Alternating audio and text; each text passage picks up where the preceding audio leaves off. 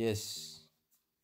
Uh, those who have been asking for the video of our project of goats uh, this is the one.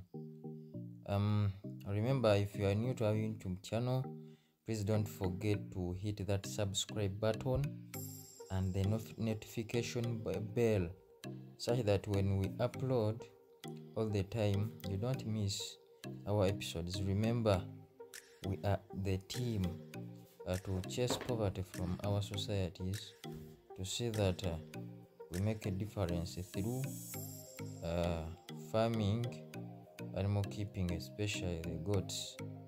Yeah this is uh, a wonderful structure for them which we have already set up.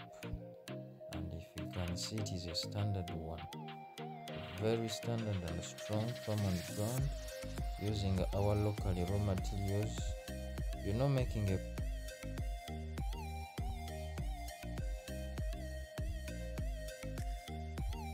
a basic one uh, but when it is very standard using raw materials on point i'm assuring you that it can stand very well.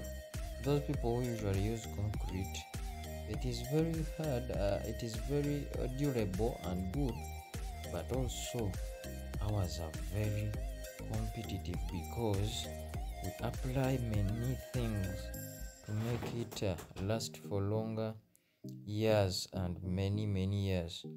Uh the one you're seeing there we are trying to make a shade for them where they will be feeding from.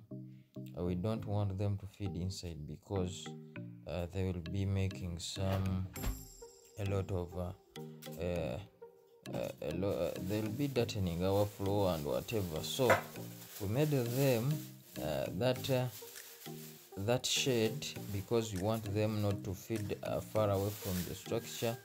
If at all there is a lot of rains they just come down there under the structure and they start feeding very very well.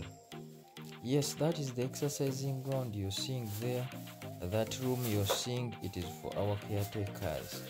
Our caretakers they'll be near our goats. Here i was trying to explain to you uh, how we are doing it.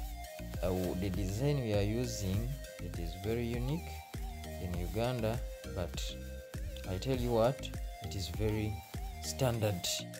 And uh, very good for our goats we shall be teaching you.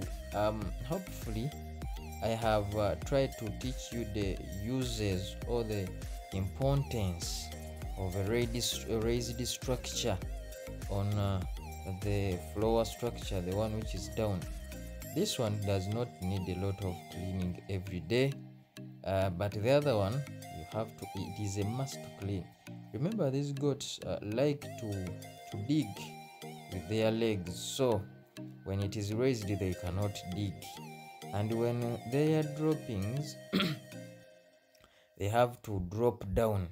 So our caretakers the main job is to remove those droppings from under. And you see this the space down we left for them it is very ample and cannot uh, uh, be hard for our caretaker to clean underneath it.